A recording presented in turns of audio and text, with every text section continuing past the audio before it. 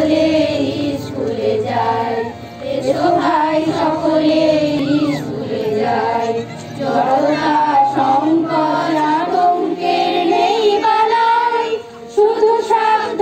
সংযমে যদি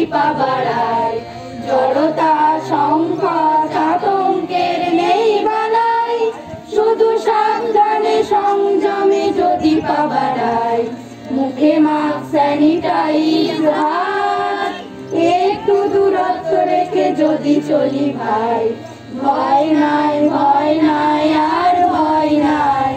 এসো ভাই, সকলে স্কুলে যায় পাড়ায় পাড়ায় গান গাইছেন স্কুল শিক্ষিকারা, গলা মিলিয়েছে পড়ুয়ারাও। স্কুল বিমুখ পড়ুয়াদের স্কুলে ফেরাতে বিশেষ উদ্যোগ নিলেন পূর্ব বর্ধমান সদর দুই ব্লকের শক্তিগড় সাবদার হাসমি উচ্চ বিদ্যালয়ের কর্তৃপক্ষ। করোনার সংকট কাটিয়ে বিদ্যালয়ের পঠন পাঠন শুরু হয়েছে। সমস্ত রকমের বিধি মেনেই চলছে বিদ্যালয়। কিন্তু স্কুল খোলার পরেও একাংশ পড়ুয়া স্কুল বিমুখ। করোনার ভয়েই হোক বা অন্য কোনো কারণেই হোক, এবার স্কুল বিমুখ পড়ুয়াদের বিদ্যালয়ে ফেরাতে অন্যান্য পড়ুয়াদের নিয়ে পথে নামলেন বিদ্যালয় কর্তৃপক্ষ। সদর দুই ব্লকের শক্তিগড় গ্রামে পাড়ায় পাড়ায় হাজির হলেন তারা। বাড়ি বাড়ি গিয়ে স্কুলে আসার জন্য বললেন অভিভাবক অভিভাবিকাদেরও। শুধু শিক্ষক শিক্ষিকারাই নন, তাদের সাথে যোগ দিলেন বর্ধমান উত্তর বিধানসভা কেন্দ্রের বিধায়ক নিশীদ মালিক, বর্ধমান দুই ব্লক উন্নয়ন আধিকারিক সুবর্ণা মজুমদারও। ছিলেন অন্যান্য পদাধিকারীরাও। কেন বিদ্যালয় বিমুখ তারা সে বিষয়ে খোঁজ নিয়ে আশ্বাস দিলেন সকলকে।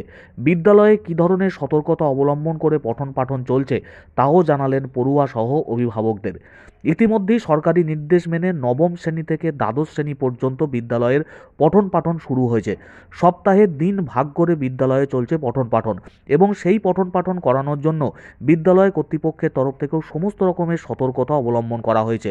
মাস্ক ব্যবহার, শারীরিক দূরত্ব বজায় রাখা, হ্যান্ড স্যানিটাইজার ব্যবহার, সমস্ত বিষয়গুলোকেই নজরদারির মধ্যে রাখা হয়েছে।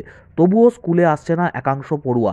তাদেরকে স্কুলে ফেরাতে এবার উদ্যোগ গ্রহণ করল পড়ুয়াদেরকে নিয়েই স্কুল কর্তৃপক্ষ সহ প্রশাসনিক কর্তারা, বিধায়ক, ব্লক উন্নয়ন আধিকারিক সহ অন্যান্যরা পৌঁছে গেলেন পাড়ায় পাড়ায়। বাড়ি বাড়ি পৌঁছে খোঁজ নিলেন পড়ুয়াদের। কেন তারা বিদ্যালয়ে যাচ্ছেন না? বোঝালেন তাদেরকে। বোঝালেন অভিভাবক, অভিভাবিকাদেরও। পাড়ায় পাড়ায় গান গেয়ে স্কুলে ফেরাতে উদ্যোগ গ্রহণ করল সাবদার হাসমি উচ্চ বিদ্যালয় কর্তৃপক্ষ।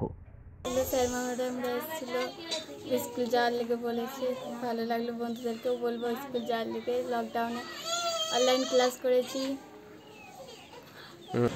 এখানে আজকে আমরা সাবদার হাসমি হাই স্কুলে এসেছিলাম।